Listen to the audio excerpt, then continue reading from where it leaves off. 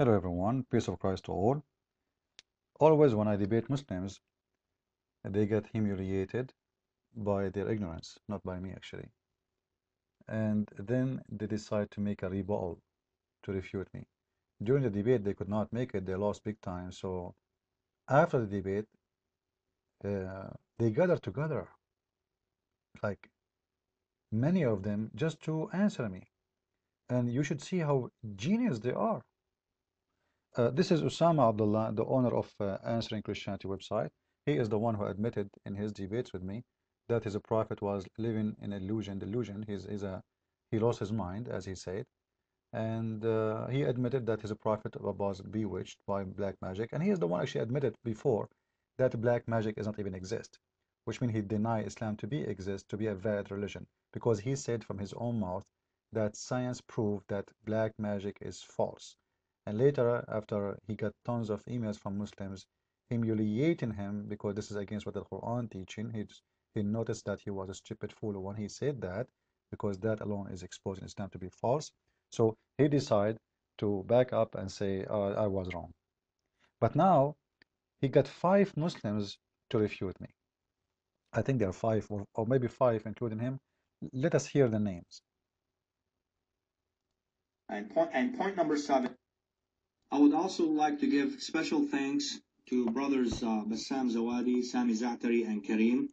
Uh, they are authors of www.answering-christianity.com. You can see their uh, articles in the authors section. Uh, I'd like to thank them for uh, helping me uh, put the points of this audio together and helping me in finding the references that exposed Christian Prince and his lies. So all those people, he they helped him to put the point together, which means this is a rebuttal of five people or four people. He said what? His name his uh, this is him Osama Abdullah and the kid the guy the eyebrow kid, kid you know the one look from the zoo um, is like 23 years old. Uh, and, and, by the way this this kid himself he asked uh, I think it was him he asked Osama Abdullah to remove all his articles from his website because they are full of errors and mistakes. Uh, anyway the articles is very easy to make but how valid they are. And he admitted that he, they are wrong. And uh, uh, Bassam Zawadi, you know, like, who, who are those people? Like, you guys, you can refute me? I want to see how they can refute me. Listen, listen carefully, guys. For Prophet Muhammad, peace be upon him, was clean and even cleaned the lice from himself. So those five, uh, they claim to be scholars, four scholars, they meet, meet together to make a rebuttal for me saying that the prophet was so clean and even he cleaned himself from lice uh, uh, I'm not sure really how how how how smart those people are. Those names you mentioned to me what is their name? Sami Fattari? And uh, what? Zawadi Zawadi and Badalali Walali I don't know. All of those they admitted that the prophet was so clean to the point he clean himself from lice? Now the prophet, he clean himself uh, from lice. You know, monkeys do that. I don't know, like, what's wrong with the, what kind of a prophet this prophet is. The prophet, he is, you guys, did you see monkeys cleaning themselves from lice? Monkeys, they're like, so the prophet is so clean and even he clean himself from lice. Like, come on, how how big are the proof you want from a Muslim that the Prophet he, he is a clean person? And actually, you know what? I challenge Muslim to show me Muhammad clean himself from lies. He never did.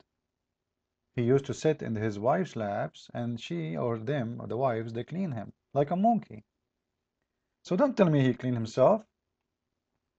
But as long they mention this, as you see, this is the hadith in front of you and this is in Sahih al-Bukhari uh, sorry Sunan Ibn Dawood uh, book number 19 hadith number 3074 the prophet is so clean so clean to the point his wife is cleaning picking lice from his head. How many lice in his head? We don't know. And we don't know. And, and he have visitors around. The wife of uh, Uthman is there Uthman ibn Affan is there. Like you know this is what they uh, Muhammad he do. He have a friends visiting him over so he put his head in the lap of his wife and they start cleaning his head. Those only in the head. We don't know about the underwear and other stuff. So when four or five Muslims, they claim to be a big shot Muslims, hmm, they are uh, uh, writers, uh, very funny writers, uh, they say from their own mouth that the Prophet was so clean to the point he cleaned himself from lies. Well, the clean one, he do not need to clean himself from lies. And he don't accept himself to be clean when he is full of lies. And in here you notice that the story is reported as it's nothing. It's like a, daily daily stuff happening in uh, in the life of Muhammad. She is not saying that the prophet was infected, which means something is happening temporarily. No, it's something usual happening. You know, she have visitors. Zainab narrated Zainab. This is the wife of Muhammad. She was picking lies from the head of the apostle, peace upon him, while his wife, the wife of Uthman ibn Affan, and the immigrant women were with him. Why, why, why they are what they are doing there, the women? Al Muhammad is he loved to sit with women. He forbid Muslims from sitting with women, but he is allowing himself to have all those women around. He enjoy it. It's okay. And you know, maybe he is better than other Muslims because first of all, he's a prophet. Second of all, he have more lies. And he said it was for one year, uh, which I exposed him on and, and proved from the authentic sources that, that it was for 40 days only, not a year. Okay. Uh, so uh, the Muslims admitted now, uh, this guy Osama admitted that his prophet by, was under the control of Shaitan or Satan for 40 days. For 40 days. This is Quran chapter 15, verse number 42. Go to any translation you want. As you see, this is Muslim translation, not mine. What the verse in here is saying, Allah said to the Quran, uh, my sincere servant is indeed a way that, uh, uh, that leads straight to me. Uh, forever my servant, no authority shall thou have except such as but themselves is in the wrong, follow thee. Actually, the word in Arabic, uh, it is al-ghawin. Al-ghawin is the filthy ones. So Allah is saying to shaitan, from my servants, those who they are I created, those who they are the good ones who follow me, let us say that the Muslims, you have no authority over them. Okay, now the question, if Allah is saying a promise to shaitan that you have no authority over uh, the one who follow me except the one who follow thee, which means the, the satanic one. You see, the one who follow thee, the one who they are in the wrong, and they follow thee, which is shaitan. So uh, when Allah he says that to the shaitan, that you have no authority over those who uh, uh, follow me, except those who follow you. And then you tell me, and you admitted that Muhammad was under the control of uh, uh, of shaitan for 40 days. And that is a contradiction for other verse in the Quran. The verse which is saying that Allah will protect Muhammad because he's a prophet from the genie and from the mankind. Chapter 5 verse number 67 Allah protect you from people. So according to the hadith this guy who is a satanic man he's a Jewish by the way his name is Lubayd ibn al-Asam. Uh, Osama Abdullah not know how to say his name. Uh, he did bewitch Muhammad uh, which means he used a satanic power to control Muhammad. But this is against what the Quran is saying Allah will protect thee from mankind as you see in the front of you so Allah saying he will protect Muhammad from mankind, but in the same time, uh, you are saying to me that a Jewish guy, he was able to control him by taking some hair from where we don't know, maybe from, maybe from his ass. How Allah says, I protect thee. A Muslim, he might say to me, oh, this is protection about uh, the, the, the, the Quran. What, what, protect thee? Uh, uh, is Muhammad the Quran? Protect thee is protect thee. And later we found that Muhammad, he died by poison too.